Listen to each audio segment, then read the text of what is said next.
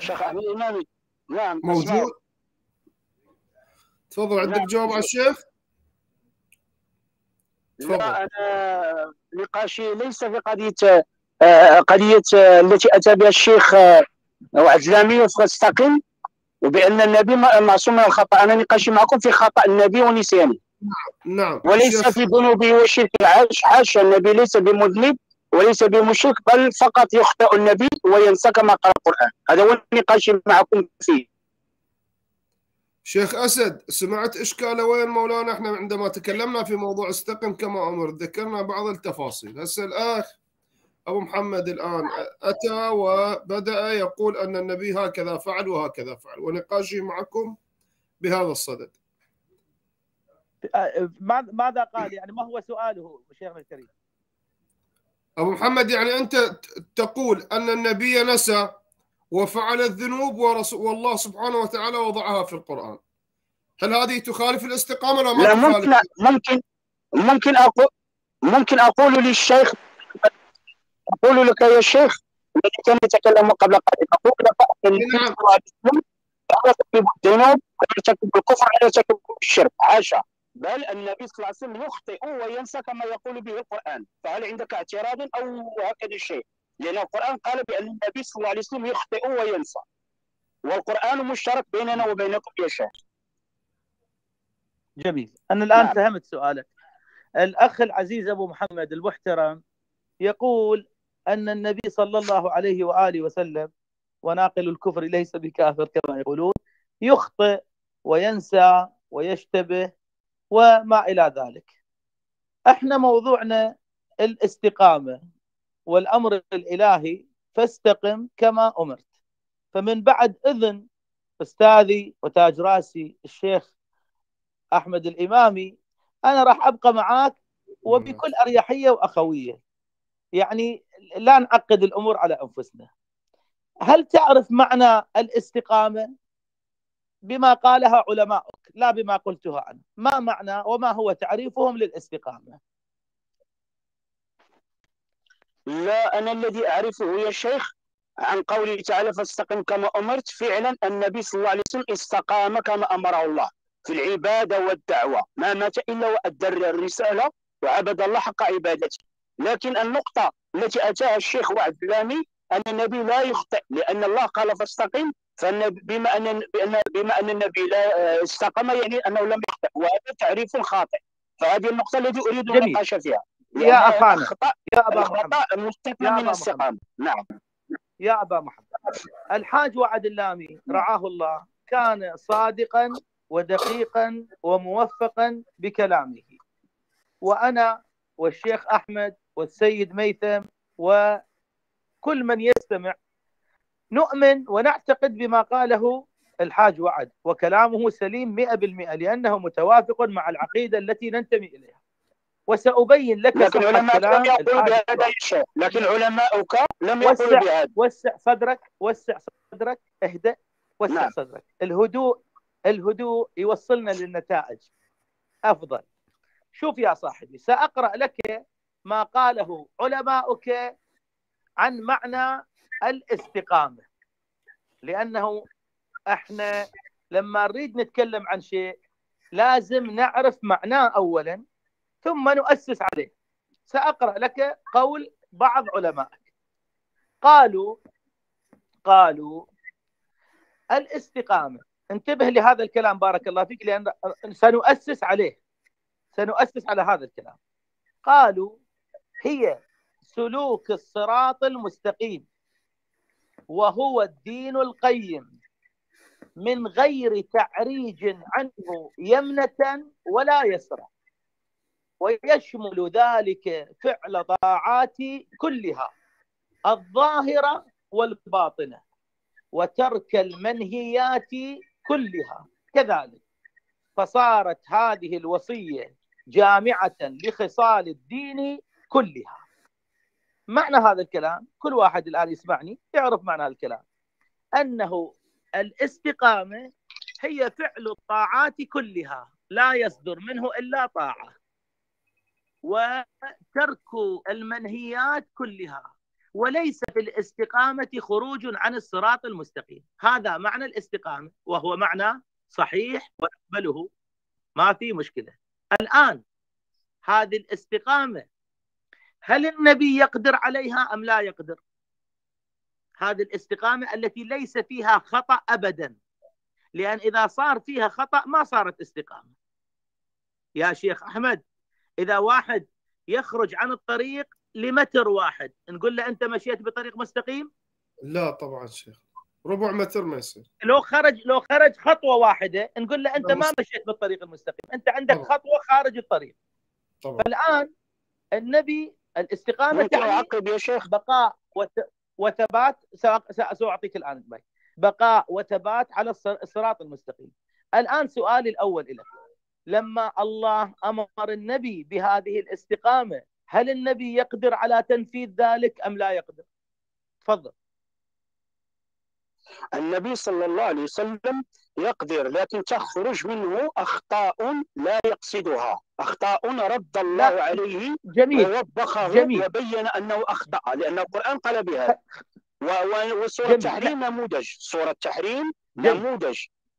فالتفسير الشيعي والتفسير السني كلهم قالوا معي. عتاب من الله أسمعني أكمل لك النقطة عتاب من الله تفضل تفضل وأن الله أمر بالكفارة فكفر النبي صلى الله عليه وسلم على هذا الذي صدره منه وعاتبه الله عليه. فكيف نفعل بهذه الصورة؟ بارك الله فيك.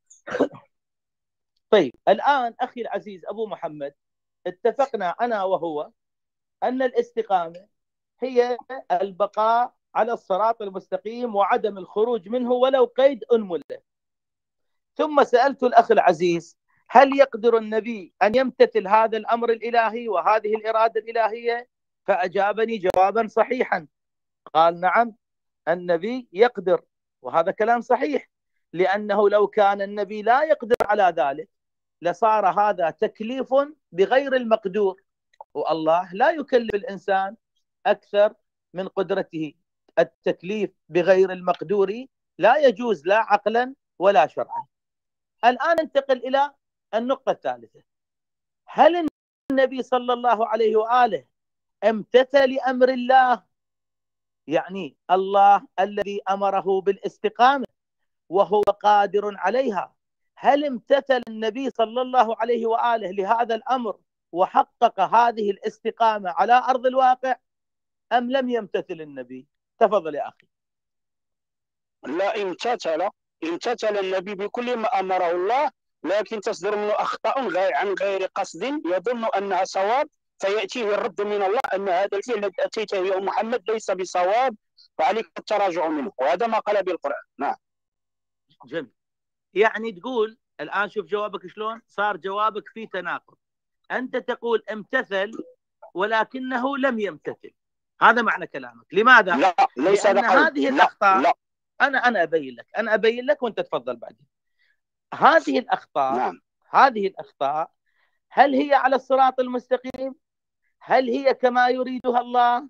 هل يمكن أن نسميها استقامة؟ يعني على تفسيرك أنت أنتم تفسرون سورة التحريم بأن النبي حرم على نفسه أمرا ما وبالتالي لأن هذا الفعل كان فعلا خاطئا الله عاتبه وعلمه كيف يعالج هذا الخطأ أنا أقول لما النبي فعل هذا الفعل هل كان على الاستقامة أم لم يكن على الاستقامة؟ هذا الفعل اللي صدر من النبي بغض النظر عن السبب عمدا سهوا خطأ ما له علاقة الآن. اللي علاقة هذا الفعل كان مستقيما فيه أم لم يكن مستقيما؟ تفضل. بارك الله فيك. هو- آه، هذا السؤال أعجبني جميل جدا. النبي صلى الله عليه وسلم مستقيم بقلبه وبقصده. لكن تصدر منه أخطاء هو لا يقصدها ويظن أنها صواب. فالله الذي يبين له أن هذا الفعل الذي أتيت به يا محمد ليس صواب عليك منه التراجع ولا يتعمد الخطأ ولا يتعلم يتعمد. هذا وجهه به جميل. كانت جميل، سورة التحريم نموذج لما أمره بالكفارة لأنه أقسم أن لا يقرب ماريا. إرضاء لحفصة والله أمره بالكفارة. هذا هو نقاشي معكم فيه. جميل. هذا أنا سؤالي ليس عن سبب الفعل. أنا لم أسألك هل فعله عمدا أم سهوا. أنا سألتك عن الفعل نفسه. هذا الفعل لما حرم ماريا على نفسه هل هذا الفعل فعل صائب مستقيم أم فعل غير صائب؟ بغض النظر عن السبب. أنا ما أقول. الآن النبي تعمد غير؟ صائب خطأ عظيم. هذا خطأ عظيم. أتى به النبي صلى الله عليه وسلم غير صائب. هنا اذا هنا هنا أحسنت هذا هذا الجواب المفروض حسمت الحوار بيني وبينك. اذا هنا النبي صلى الله عليه وآله لم يكن على الاستقامة.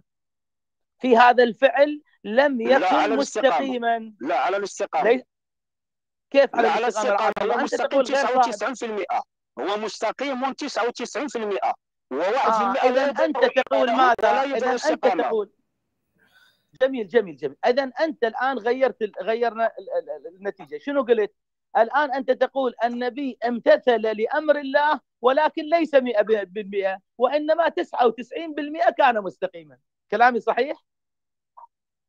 نعم. والقرآن بين أخطاء عديدة في صدرت من النبي. نعم. طيب. الآن يا شيخنا يا شيخ أحمد الإمامي هل تقبل أن يكون نبيك مستقيما بنسبة 99%؟ هل تتبع نبي مستقيم بنسبة 99%؟ ما هذه الواحد بالمئة. مشكلة يا شيخ أحمد. هذه تسبب مشاكل. شيخنا الله شيخنا- بعد أنا انتهيت. الله سبحانه وتعالى يقول للنبي يقول له وإنك لتهدي إلى صراط مستقيم فكيف لا يتحقق هو بالصراط المستقيم حتى يهدي الناس؟ فاقد الشيء لا يعطيه. كيف يكون رسول الله صلى الله عليه وآله وسلم يا أبو محمد؟ كيف يكون النبي يهدي إلى الصراط المستقيم؟ وهو بالأصل عند انحراف ولو واحد بالمئة. تفضل أبو محمد. نعم هو يهدي إلى الصراط المستقيم في كل شيء لكن في بعض المسائل الدنيويه هو يظن أنه فعل صوابا لكن الله يبين أنه أخطأ. وهذا الذي قال به القران أحمد الامامي ولا أتيك بنصوص من كتبنا أنا أتيك اسمع. بالقرآن الذي هو مشترك بيننا. اسمع اسمع اسمع خلك وياي. الآن رسول الله صلى الله عليه وآله وسلم كيف يهدي إلى الصراط المستقيم؟ أنا أقول لشخص اذهب بهذا الطريق. أو لنفرض فرضية أنه عندنا غابة هذه الغابة أكو فيها دليل. هذا الدليل لا يمكن ي- يسوق ناس في هذه الغابة لأنهم ممكن بأي لحظة تحدث يضيعون يصير فيهم مشكلة يجب أن يعرف أو حتى الدليل الذي في الصحراء. إذا كان يعرف الطريق جيدا يسمى دليلا. طيب أنا عندي نبي يريد أن يهدي الناس إلى الصراط المستقيم. وهو 99% صراط المستقيم جنة ونار.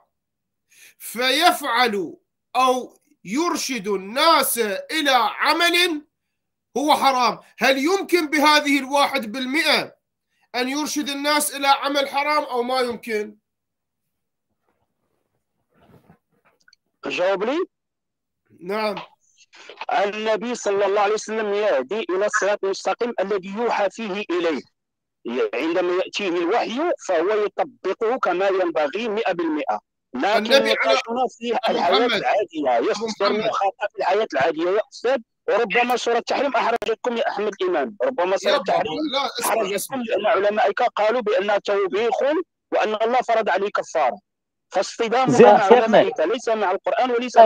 أحمد أبو محمد أبو محمد تفضل. أحمد كلمني. أبو أحمد محمد أبو محمد من كلمني. أنا أختي العزيزة نعم. كلمني. أنا بارك الله فيك لو سمحت لو سمحت بارك الله فيك هل يجوز أن تكون استقامة النبي 80% لماذا 99 هسه لا. هذه إحنا نقطة لا مهمه. لأن صدرت منه؟ لأن أنا- صدرت منه أخطاء لا، بسيطه ذكرها القرآن أضرب أبو- مثل أبو محمد. أنا أريد أن أضرب بس خليني اوضح أوضح فكرتي فضلا. لا حول نعم. بس أوضح فكرتي فضلا فضلا. شيخ نعم تفضل. تفضل. نعم. لو تسمحوا بس بارك الله فيك بارك الله فيك. أقول الأخ أبو محمد يقول استقامة النبي أنا فرضت ال 99% أو هو فرضها.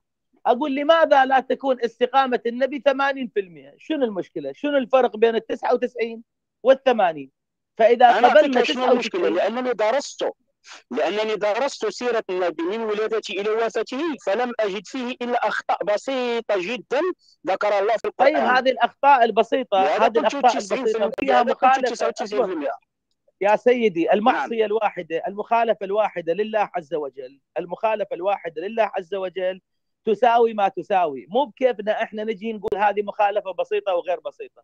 كل مخالفة لله عز وجل أنت خالفت جبار السماوات والأرض. فالنبي عندك أنت أخطأ في هذه الآية وأخطأ في أخذ الفداء من اسارى بدر وأخطأ في الصلاة على آه، ابن سلول وأخطأ ولذلك الله ما قال له ما قال له قال له ليغفر الله لك ما تقدم من ذنبك وما تأخر يعني على كلامك وعلى. فهمك النبي مو عنده ذنب واحد لا عنده ذنوب سابقة ولاحقة فهذا شلون نسويها 99 لا. خلي نخليها 90% لا حتى نكون موجودين 90% لا مستقيم. هذه ليست ذنوب. اولا هذه ليست ذنوب هذه أخطاء بينها الله لو كانت ذنوب لقال الله قد طيب ما هو ما هو. دليلك لم على أنها له قد 99 اكتفت ما هو دليلك؟ بل قال أخطأت. نعم؟ ما هو دليلك؟ ما هو دل- يا سيدي ما هو دليلك على أنها 99% نعم. ما هو الدليل على ذلك؟ لأن لأنني قرأت في لا 99% هذه من عندي أنا ليست من عند العلماء. لأن طيب لماذا؟ أنا يصيب، هذا سؤالي. لماذا لا تقبل؟ الحالات النادره الشاذه يا أستاذ محمد لماذا لا تقبل. قولي؟ هذه الأخطاء أسقطت عصمته مطلقا. نعم. أنا أريد أن أعطي المجال لأساتذتي. أنا ما أريد أستأثر بالحوار. أقول لماذا لا تقبل أن تكون 80% شو المشكلة؟ شو الفرق بين ال 99 و 80 وربما خلينا نقول ربما ربما تكون 80% 90% ربما. ربما لأنه صدرت من لا اخطاء مانع. وهذا يعني انت أنت لا يوجد وتراجع دعني- دعني رسول الله صلى الله عليه. وسلم.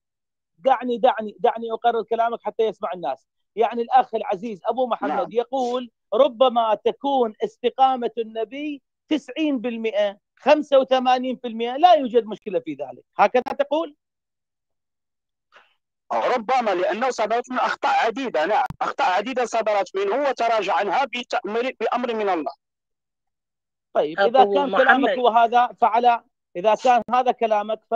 ف... فيطلب من جميع الشيعة الآن أن يسجدوا لله شكرا على عظمة العقيدة التي عندهم والتي لا لكن القرآن لا يخالفك تساوم. لكن القرآن يخالفك لماذا سيسجدون؟ إحنا رايك القرآن يخالفك لا بأس لا بأس لا القرآن يخالفك لماذا عندنا ستسجد؟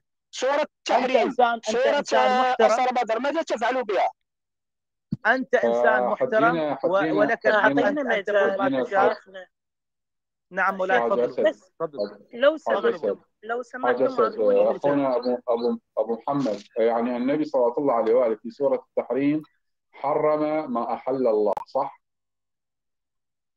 حرم على نفسه ماريا وقال والله لا قطعها ابدا وأقسم بالله. هنا جاء التوبه طيب، من على تحرم بقرب حرم على نفسه حرم اسمعني وصل وصل جوابك وصل جوابك. حرم على نفسه ماريا وماريا هي حلال عليه بأمر الله. صح؟ نعم أعيد أعيد السؤال آه، لم اسمعك جيدا أقول أقول إنه حرم ماريا على نفسه ها وهي حلال بأمر الله سبحانه وتعالى صح؟ صحيح نعم. أهداها له ما قوقص نعم. نعم. طيب الله أهداها الله له يقول في كتابه الكريم طيب الله يقول في كتابه الكريم بسم الله الرحمن الرحيم. ولا تقولوا لما تصف ألسنتكم الكذب. هذا حلال وهذا حرام. لتفتروا على الله الكذب. إن الذين يفترون على الله الكذب لا يفلحون. طيب الآن الله يقول الذي يقول للحلال حرام وللحرام حلال هذا مفتر كذاب كذب على الله. الآن يا أخ محمد قريش قريش مشركي مكة أعقل منك وأفهم منك للنبي صلى الله عليه وآله وسلم لأنهم وصفوه بالصادق الأمين. وأنت تقول النبي صلى الله عليه وآله حرم على نفسه الحلال وبالتالي يلزمك أن النبي صلى الله عليه وآله كذب على الله لأنه حرم ما أحل الله. فبالله عليك بأي عذر تواجه رسول الله صلى الله عليه وآله هذا فهمك أنت للايه وليس فهمي أنا أنا ليس فهمي أنه لا لا هذا الله يقول. يقول لا ولا تقولوا. يقول لا تقولوا ولا ذمتي أسمع. ولكن لا بينها تقول- في الفراش لا هذا هو الذي تقول النبي لأبناء الكذب حفصة. هذا حلال وهذا حرام. الله يقول الذي يقول لا، ليست هذه الآية. بغير أمر الله هذا كذاب. آية صريحة. صريحة. تقول الذي يحرم ما حل الله. تقول اسمعني اسمعني اسمعني اسمعني أرجوك أرجوك أرجوك. أنا ما قاطعتك يا أستاذ. انت صارك ساعة تتكلم. الله يقول الذي الله يقول اسمع يا أخي. يا أبو محمد عزيزي. عزيزي أبو محمد. عزيزي. أخي أخي. أخي, أخي الحبيب. الله الله يقول الذي يقول للحلال حرام وللحلال هذا كذاب. آية صريحة. ما فيها لف ولا دوران فهل تقول إن النبي صلى الله عليه وسلم على النبي لأن الله أمر بالكفارة وبس. ولكن هو حق أو صيام ثلاثة أيام خلاص أرجع إليه مريضا. أخي أخي أنت أمام آلاف المشاهدين قلت النبي حرم ما أحل الله. الله يقول الذي يحرم ما أحل الله كذاب. كذاب كذاب. آية صريحة. أنت قلت النبي حرم ما الله هذه في كفار قريش ليست في الأنبياء. يا أستاذ ميثم هذه في كفار قريش ليست في الأنبياء. الأنبياء حاشا أن يحرموا الحل. آية صريحة. الذي يحرم ما أحل الله أنت تجر أن أقول لك أن النبي حرم. لا أنت لن تستطيع أن تجرني على هذا. شنو النبي فقط قال يا حفصة إرضاء لحفصة لن أطأ مريم لله هذا قلب حفصة. سألتك فهنا الله أنزل عليه هذه السورة ليتراجع عن قوله وليكفر عن يمينه بس. هذا يبين أن النبي أخطأ فقط. أنا راح أسكت وهذا هو تفسير الشيء كمل كلامك. كملت؟ هذا هو تفسير الشيء الطوسي والطبرسي والطبطبائي. طيب الآن أتركنا من الطبطبائي الطبطبائي لم يقل ما تقول. الآن أنا سألتك أمام امام المشاهدين. يسمعوني. قلت لك يا أخي اترك الآن الطبطبائي خلينا في قلت لك يا أخ أبو محمد هل النبي صلى الله عليه وآله حرم ما أحل الله؟ قلت نعم. قلت نعم. أمام المشاهدين قلت نعم. قلت نعم لو ما قلت نعم. قلت النبي حرم ما أحل الله. صوت غليظ. صوت غليظ. بسمعك جيدا. أخي أنا سألتك سؤال. أبو محمد الحبيب الغالي قلت لك النبي حرم ما أحل الله؟ قلت نعم. قلت هذا أم لم تقول؟ جاوبني. لا حرم ما أحل الله له هو ليس ما حل الله للأمة. كتحليل اللحم وتحليل الخضار والفواكه. هي جاءته على سبيل الهبة. جاءته على سبيل الهبة. فالنبي أخطأ لما واطئ ماريا في بيت حفصة في ليلة حفصة. وأدرك النبي أنه أخطأ لما. لما جامع حفصة في. جامع النبي في بيت حفصة في ليله حفصة.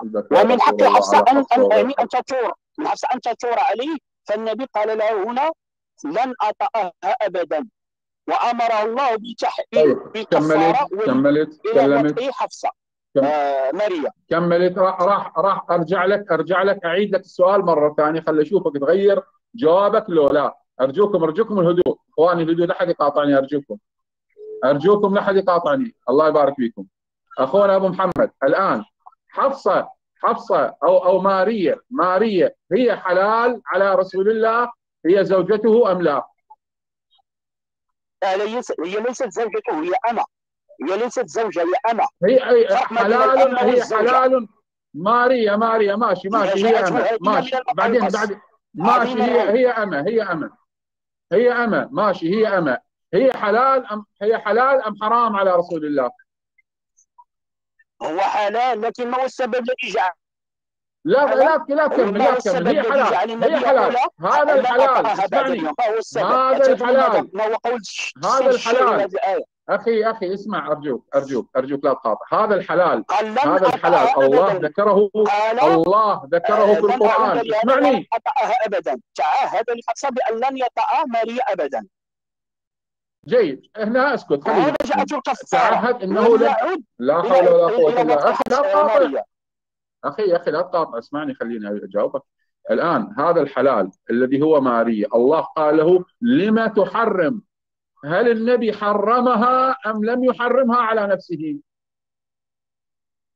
الله هو الذي قال لما تحرم حرمها. الله هو الذي قال لما تحرم خلاص حرمها. خلاص خلاص خلاص. حرمها حرمها. آية ليس حرمها. يا حديث في اخوان الترمذي كي الله أكبر. الله أكبر. الله النبي حرم. الحلال. إخواني النبي النبي حرم الحلال. الله يقول ولا تقولوا لما تصف ألسنتكم الكذب هذا حلال وهذا حرام. لتفتروا على الله الكذب إن الذين يفترون على الله الكذب لا. طيب الآن النبي حرم الحلال فهو كذاب نص القرآن ماذا تقول؟ ماذا تقول؟ صدق يا يقول. الله يقول الذي يقول للحلال حرام هذا كذاب ماذا تقول؟ أعطيني أنت التفسير الشيعي ما معنى قوله لما تحرم ما أحل الله لك ممكن أنا أقول الذي حرمه النبي صلى. الله عليه وسلم تحريم امتناع. أنا قرأت أخي التفسير تحريم امتناع. هذا عتاب من الله. التفسير هذا الشيعي؟ قر- أنا جاء قرأت جاء التفسير هذا عتاب من الله سالت سالت سالت لا تقاطع. سألتني التفسير الشيعي فاسمع الجواب بكل أذان صاغيه التحريم هنا. لا تقاطع يا. أخي. تحريم والله لا تقاطع. مو مو أحرجتنا. لا تقاطع أول مرة لا تقاطع لا تخرج النبي التحريم. لا حول ولا قوة إلا بالله. لا حول ولا قوة إلا بالله. أخي اسمع سألتني التفسير الشيعي. اسمع الجواب. اسمع الجواب.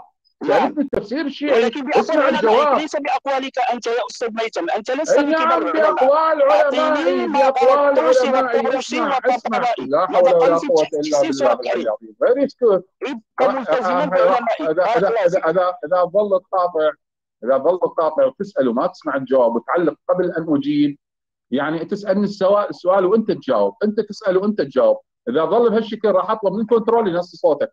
فخليني محترمك. خليني محترمك لا تخليني ينزلون أسألك, صوتك أسألك وأتركك تجيب أسألك وأتركك سألت تجيب ممكن الجواب. ممكن الشيعي وأتركك للآية تجيب اسمع الجواب. التحريم ليس هنالك دليل.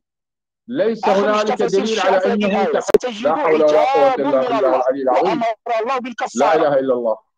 أبو محمد شنو سالفتك أبو محمد؟ الكفارة على اليمين وليس على التحريم يا أستاذ. الكفارة على اليمين وليست على التحريم. القسم بأن لا الكفارة أخي، عن أخي، القسم الذي أخي.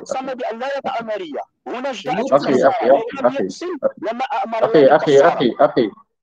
سم... أنت أنت ليش تسأل وليش تجاوب؟ إذا أنت عندك الجواب ليش تسألني؟ ليش تسألني؟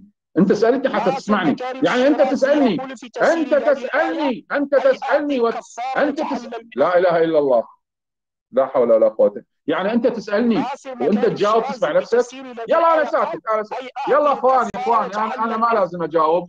أنا ما لازم أجاوب. الأخ أبو محمد هو يسألني هو وهو يجيب نيابه. عني. يعني غير هذه هي هذه واضح أخ اخواني أخواني الأعزاء أخواني في الكنترول نص الصوت اخو أخونا في الكنترول نزل صوته ارجوك هذا رجل ما, ما عنده يعني إيش اللي يسوي؟ له هو يسألني هو يجاوب.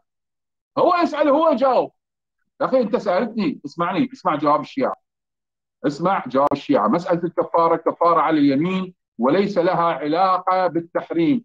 التحريم هنا عندنا الامتناع. التحريم الامتناع وليس التحريم مقابل الحلال. النبي صلى الله عليه وآله لا يحرم ما أحل الله تبارك وتعالى لأن الله وصف من يفعل هذا الفعل بالكذاب بالكذب. إن الذين يفترون على الله الكذب وصفهم بأنهم كذابين. لا تقولوا لما تصف ألسنتكم الكذب هذا حلال وهذا حرام. لتفتروا على الله.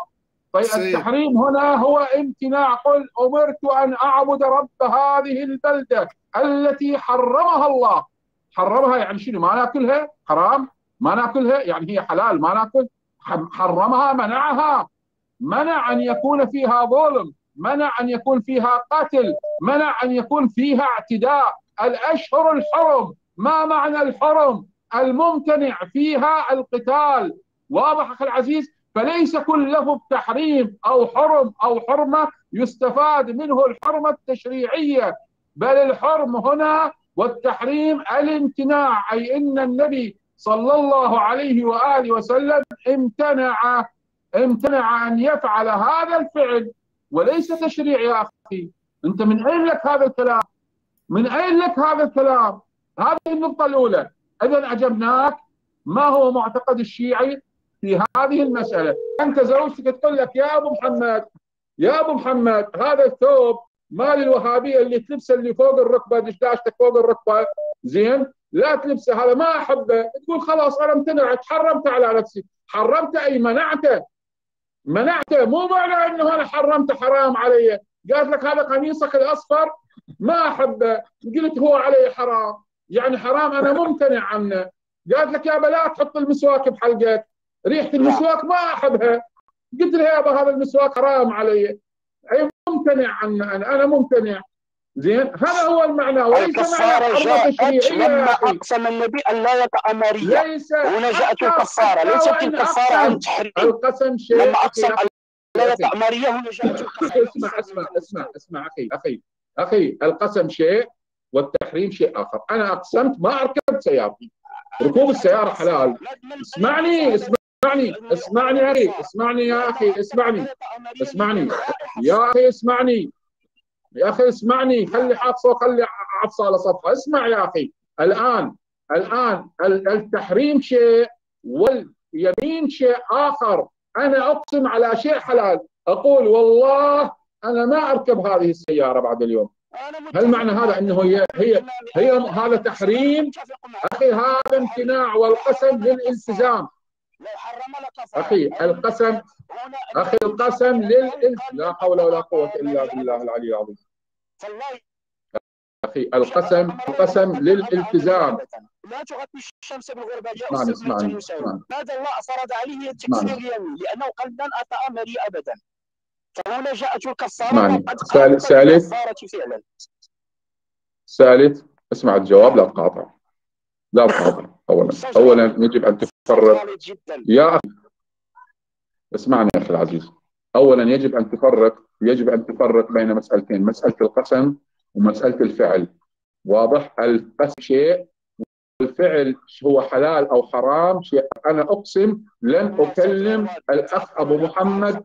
لا لن أكلم الأخ أبو محمد الجزائري. أنا أقسم. سيد سيد أكو خلينا نشوف ماجد. ماجد من ال- من مصر. أبو محمد آه، طبعا هو قطع ودقينا عليه آه، على العموم. أبو محمد أبو محمد أنت نايم أنت نايم ب- يعني نايم بالخطيئة. بس بس يا ابو ابو أبو باكر أبو باكر أبو باكر أبو باكر أبو باكر أبو باكر. أرجوك أرجوك أرجوك. أرجوك ثواني بس لا تخليه يقاطعني ثواني ثواني. يلا. أبو محمد أبو محمد أخونا الجزائري. أنت تقول قلت للحاج اسد قبل قليل إن النبي صلى الله عليه وآله آه، غير معصوم 100% بل معصوم 99% جاي اسمع صوت ثاني. مشكلة. اسمع صوت ثاني. اكو اكو في صوت آه، كنترول مولانا نعم طيب. الآن الأخ أبو محمد يقول إن النبي صلى الله عليه وسلم بمعنى إنه مجتهد فيما سوى فيما سوى التبليغ سوى الدين. هذا تشويش على الصوت ما قاعد أفهم شيء. ما قاعد اسمع تشويش مولانا. العزيز جدا صوت صوت صوت آخر. لا، لا،. كنترول مولانا أنا هم أسمع صوت. أنا هم أسمع صوت. أكو صوت موجود. لو سمحتم. لو سمحتم. سيدي ها لحظة لحظة، لحظة، الله يبارك فيك. إن شاء الله. أنا ما عندي بس نصف دقيقة وأنتهي. ما عندي شيء. نصف دقيقة أقل من نصف دقيقة. أقل من نصف دقيقة. أخونا أبو محمد تقول إن النبي صلى الله عليه وآله مجتهد ونسبة الاجتهاد عنده 99% تقول 99% الآن. إلا الله. بما أنه النبي صلى الله عليه وآله يخطئ في مسائل الدنيا هل ممكن أن يصيب غيره من الصحابة في نفس المسألة التي أخيها النبي؟ يعني يخطئ النبي صلى الله عليه وسلم في مسألة من مسائل الدنيا؟ ممكن. ممكن أن يصيب أبو هريرة في هذه المسألة التي أخطأ فيها النبي؟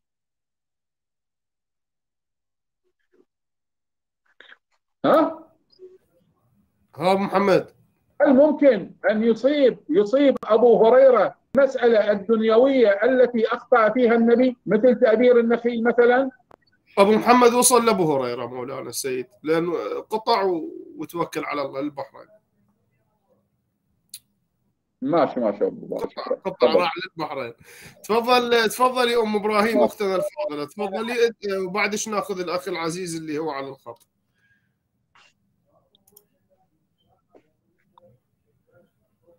تفضلي.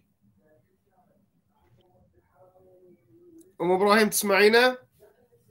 نعم نعم نعم معك. تفضل. تفضلي أختي. أنا فقط أريد أن أثير نقطة للأخ أبو محمد بس أرجو أن لا يقطع عني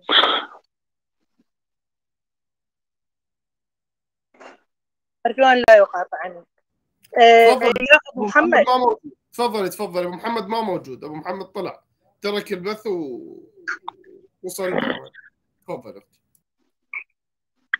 هذه نقطة ضرورية جدا نطرحها في هذا البرنامج وهي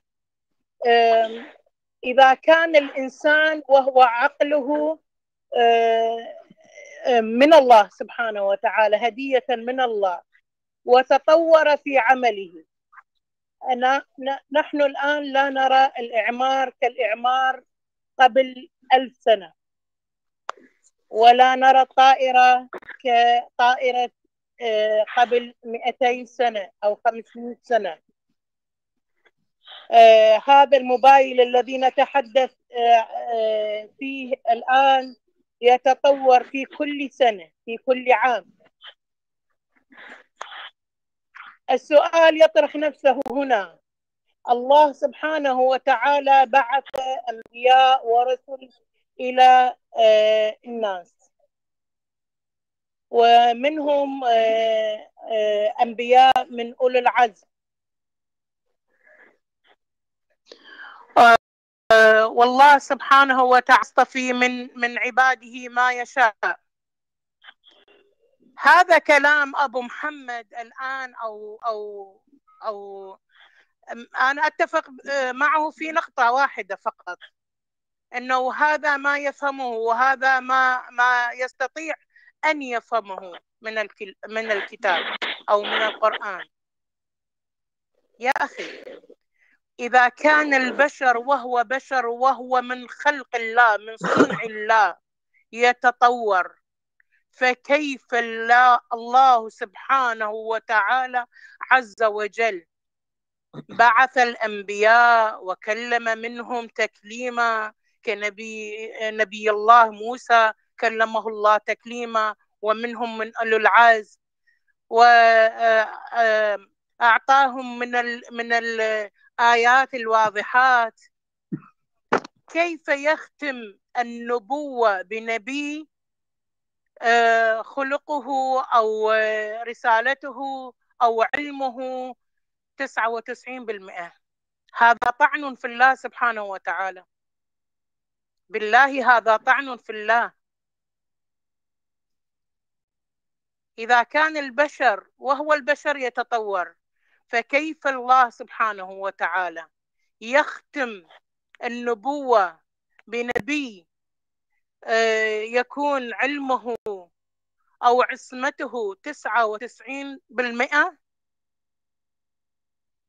والله يا أخي أنت لم تطعن بالرسول وإنما طعنت في الله سبحانه وتعالى. أخ... وشوفي أختنا أم إبراهيم الفاضله الله يرحم والديك ال- دول السلفية هي هاي مشكلتهم. هي هاي مشكلتهم. حتى انه ما يجدون آه، تفسير أو تأويل لما موجود في القرآن. أنا سألت سؤال واضح وصريح. هذا السؤال لو أجاب عنه لو استطاع أن يفهم السؤال لما دخل في هذه المتاهات كلها. هو يتوقع أنه ينصر القرآن الكريم. هؤلاء في قلوبهم نحن نقول نعم في قلوبهم حسيكة بغض أهل البيت لكن الذي يجب أن يعلم أن السلفية بالذات السلفية بالذات ما أقول كلهم الله العالم يعني.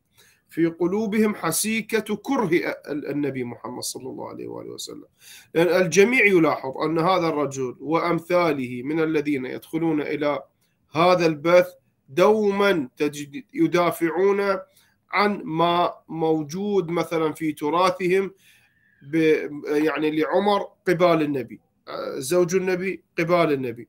يعطون المعاني لهذه ال- الآيات الكريمة المباركة المعاني التي هي يعني مو صحيحة لهذه الآيات الكريمة المباركة ويريدون أن يلزمون الناس بها. يعني كلام السيد واضح.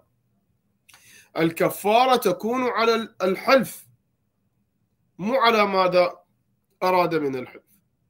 لا وإن كان هو لنفرض. وهاي الكلام يعني مو المفروض يتكلم أمام الناس.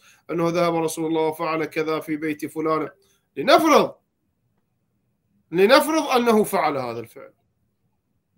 هذه بيت زوجته وهاي بيت زوجته إنهم يفسرون القرآن على آه، حسب عقولهم. يعني هذا عل- علمهم وفهمهم لتفسير القرآن. فلا يجبرنا نحن أن نتبع ما ما يعتقد به هو. هذا مولانا يعتقد به هو. مولانا الكنترول مولانا الكنترول. رب. العالمين. أحسنتي. ماجد قطع الاتصال ماجد قطع الاتصال. الشيخ موجود بعده معنا شيخ أسد؟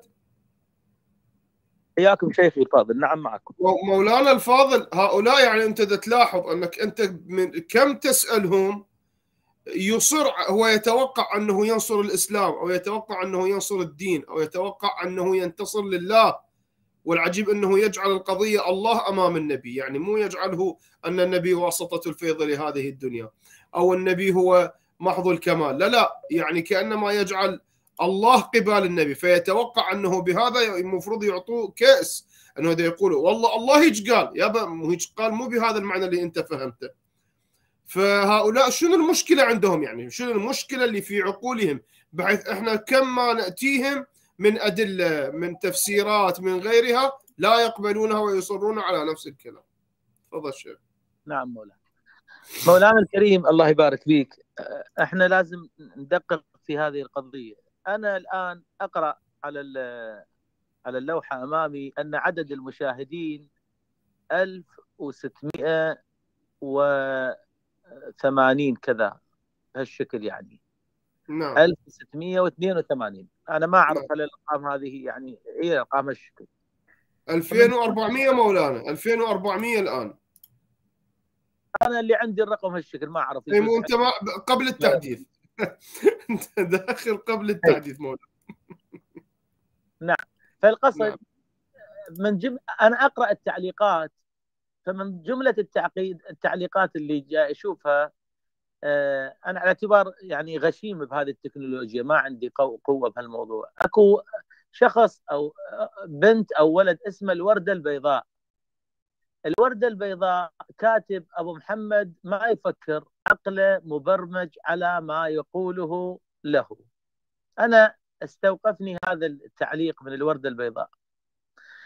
إخواني الكرام لماذا نفتح هذا الموضوع؟ لو سألنا أخانا العزيز الحاج وعد نسأل الله تعالى أن ييسر أموره. أو الشيخ أحمد أو السيد ميثم أو الإخوة اللي في الكنترول المقيمين على هذا البرنامج. لماذا نختار هذا الموضوع بالذات؟ هذا الاختيار لم يأتي عبثا. هنالك غاية مقصودة من خلال طرح هذا الموضوع. ما هي الغاية؟ الغاية أننا نريد أن نوصل لهذا العدد الذي يستمع. وهذا التسجيل سيبقى وسيستمع إليه أناس آخرون وربما عشرات الآلاف سيستمعون لهذا الحوار أو أكثر. نريد أن نقول للناس أن العقيدة التي يقوم عليها المنهج المخالف لأهل البيت عليهم السلام غير متوافقة مع القرآن الكريم. أنا اريد أقول للوردة البيضاء ولكل الأخوة اللي رموا بالكرة بملعب أبو محمد اتهموا أبا محمد عقل أبا محمد عقل أبي محمد. أبو محمد ما يف... لا لا أبو محمد صورة من هذا المنهج. الرجل تحدث بكل صدق.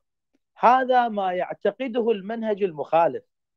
لا يوجد في المنهج المخالف خصوصا المنهج السلفي شيء اسمه العصمة المطلقة لرسول الله صلى الله عليه وآله.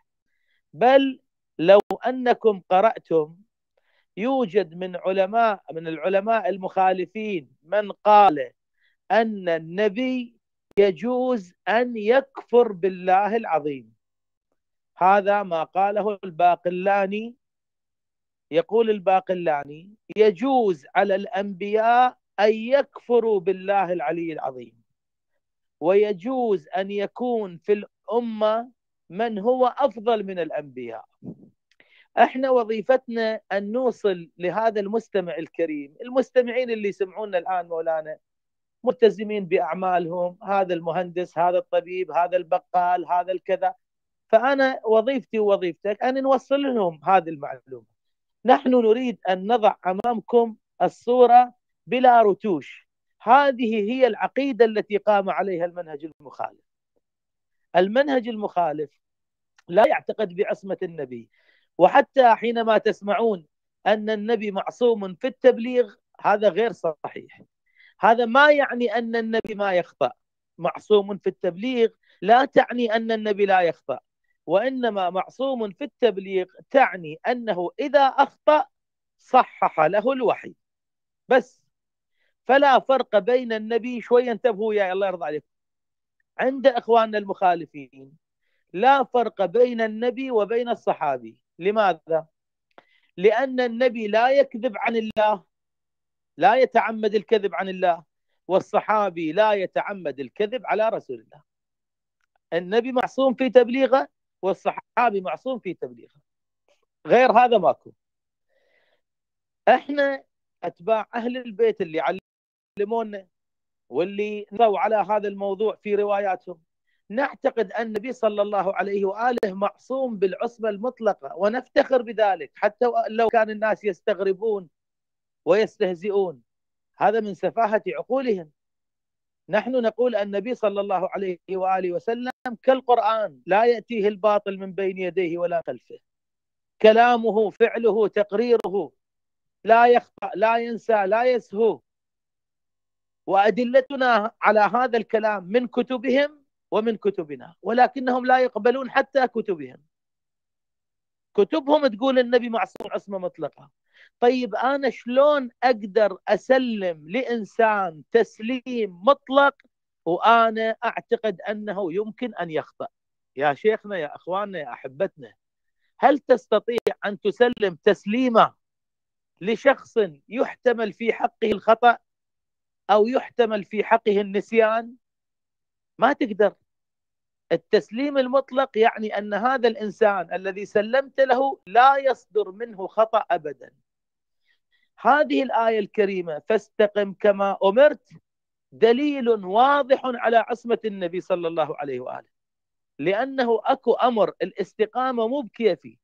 إذا أنا أريد أكمل هذه العبارة مو الآية العبارة فاستقم كما أمرت أضيف لها لا كما رغبت. فاستقم. كما أمرت لا كما رغبت. يعني أنا أستقيم مو مثل ما أنا أريد. لا مثل ما الله يريد. الاستقامة تتحقق بطاعة الأمر الإلهي. أنتم تقولون للأسف أبو محمد وابن تيمية وابن عبد الوهاب وفلان والقرشيون والصحابة كانوا يقولون أنه ليس مستقيما مئة بالمئة. هذه الكلمة اللي قالها أبو محمد مو كلمته هذا الرجل. هذه هي العقيدة التي نشأوا عليها. هذا هو التثقيف الذي ثقفوا به. لأنه هذا التثقيف أنتم لو تراجعون وتشوفون التثقيف كله قائم على أساس السلطة. هم يعترفون أنهم حكام علماء علماء سلطة. فالتثقيف اللي يريده معاوية هو هذا التثقيف. ما ينفع معاوية تثقيف أن النبي معصوم عصمة مطلقة. ما يستقيم كرسي معاوية ولا يستقيم كرسي فلان وفلان أن يفهمون الناس أن النبي معصوم عصمة مطلقة. لازم يخلون حيز من الخطأ حتى يبررون لأنفسهم الأخطاء. ولذلك شيخنا الحبيب أنت أنت والأستاذ السيد ميثم أعلم وأعرف مني. حديث صحيح يرويه عبد الله بن آه، عمرو بن العاص. في مسند أحمد بن حنبل. هذا الحديث لو أن الناس تدبرت هذا الحديث لوحده يكفي في كل هذا الكلام. يبين لك العدو من الصديق. الحديث يقول هذا الرجل يقول كنت أكتب كل ما يقوله رسول الله صلى الله عليه وآله. فنهتني قريش. انتبهوا. ما نهوا الأنصار؟ نهتني قريش. يعني المهاجرون جماعة من المهاجرين قريش القرشيون يعني سين وصاد اللي تعرفونهم أنتم نهتني. قالوا أنت تكتب كل ما يقوله رسول الله ورسول الله بشر يخطأ يقول في الرضا ما لا يقول شنو؟ في في الغضب. هي نفس العقيدة اللي يقولها أبو محمد. هذا نفس العقيدة اللي يقولونها الأخوان الوهابية. هي نفس عقيدة القرشي خلينا نشوف النبي وافق على هذه العقيدة؟ يقول فجئت إلى رسول الله صلى الله عليه وآله. والحديث موجود في مسند الإمام أحمد وباستطاعتكم تطلعونه وحديث صحيح. قال يا رسول الله أنا كنت أكتب كل ما تقوله. ونهتني قريش. لاحظوا الكلمة العظيمة. الكلمة الواضحة البينة لكل إنسان عاقل. قال اكتب. فوالله لا يخرج منه إلا الحق. طيب يا رسول الله ممكن تنسى؟ لا. ممكن تغفل؟ لا. ممكن تشتبه؟ لا. لا يخرج منه إلا الحق. يعني النبي حتى وهو نايم لما يتكلم حق. ولذلك أنا وأنت ننام تنام قلوبنا وتنام أجسادنا. بينما النبي صلى الله عليه وآله يقول تنام عيني ولا ينام قلبي. من هذا الإنسان؟ وما هي خصوصية هذا الإنسان؟ الذي تنام عينه ولا ينام قلبه. هذا أنا أقدر أساوي بباقي البشر؟ البشر حينما ينامون كل شيء ينام فيهم. لكن هذا النبي صلى الله عليه وآله. هذا حديث واضح صريح وصحيح لكن القوم ما يعجبهم هذا الحديث. ما يعجبهم هذا الحديث. فمولانا هي قضية مناهج. أنت وأنا هسه ذول الشباب اللي جاي يكتبون أنا أشوف كتاباتهم. هذول ما دارسين حوزة مولانا كلهم. هذول أغلبهم لا دارسين حوزة ولا قارين كتب.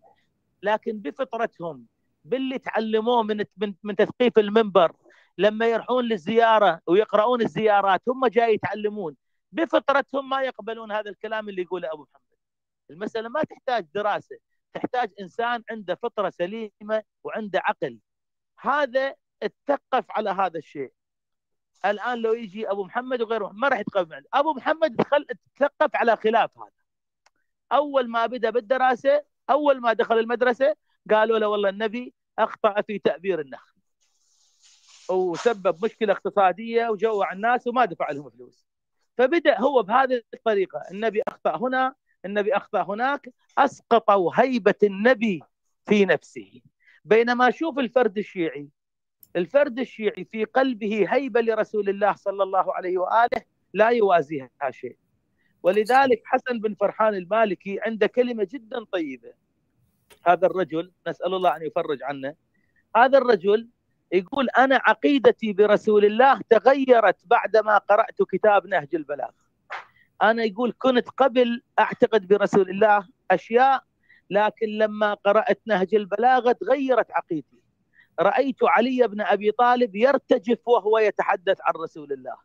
أشعر بعلي يرتجف وهو يسولف عن رسول الله فيقول عقيدتي كلها تغيرت فأنت ما دام ماخذ عقيدتك من علي عليه السلام ومن أهل البيت الإمام الصادق لما يسمع اسم رسول الله يقول الراوي صار يكرر محمد محمد محمد حتى أدنى خده من التراب فأنت كشيعي وتابع للإمام الصادق شنو راح يكون رد فعلك؟ هذه الطريقة اللي أنت تتعامل بها مع رسول الله.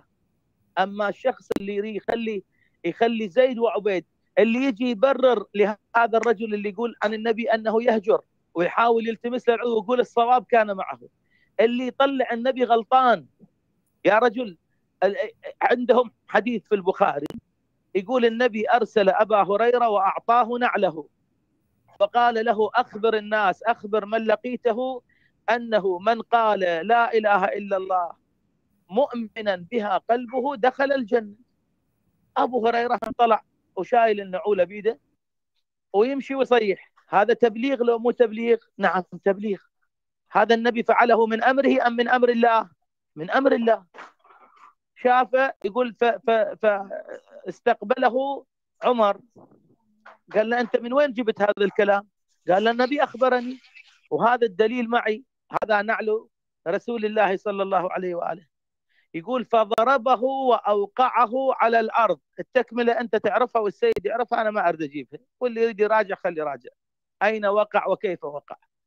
ثم أخذ أبا هريرة هذا في البخاري وذهب به إلى رسول الله. لاحظوا أيها الإخوان قال له يا رسول الله أأنت أمرت أبا هريرة أن يقول هذا؟ قال نعم. قال يا رسول الله لا تفعل لا تسويه. لماذا؟ قال لأنك إن فعلت ذلك اعتمدوا وتوكلوا عليها وتركوا الصلاة وتركوا العبادة وبعد يشلبون بس لا إله إلا الله. فهذه ما تفيدهم تخرب دينهم هذه. فخلهم فقال له النبي صلى الله عليه وسلم فخلهم يلا ماكو مشكلة اتركهم.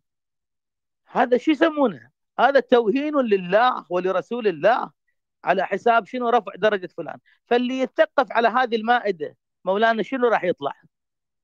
شنو راح يصير مثل أبو محمد وغير أبو محمد. يقينا. بالله. هذا. تفضل مولانا. أبو زهراء عزيزي تفضل الله يرحمه.